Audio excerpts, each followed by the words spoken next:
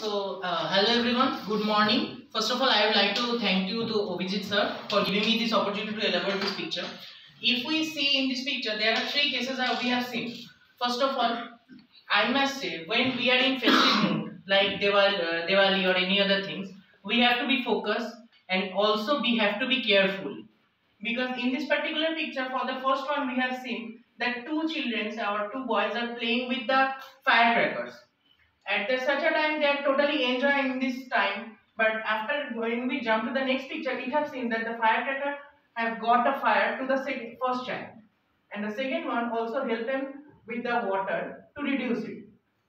Because for my and I must say, if we have been focused or we are serious, then this thing not happen. Like sometimes we have seen when we uh, play with the firecracker, some are there who is uh, trying to play with it it in his in their hands and also try to dance with the rounded firecrackers which are in the ground.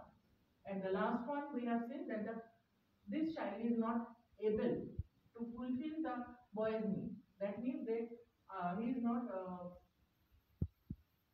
uh, so he is not in that particular time with the water and the fire